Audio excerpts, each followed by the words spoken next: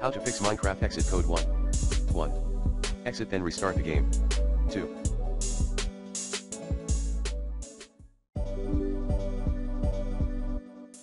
Update your Windows and Minecraft launcher. 3.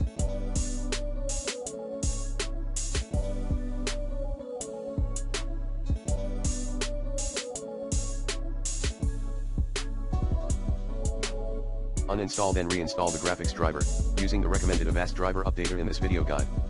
4. Check and disable some installed mods. 5.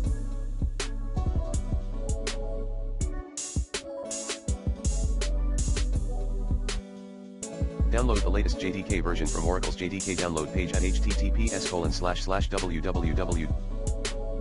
www.oracle.com in slash java slash technology slash downloads. Now, add that download.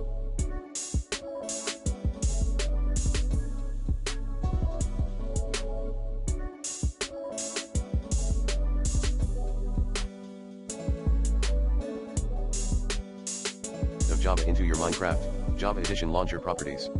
6. Delete any paths that mention Java from system variables. 7.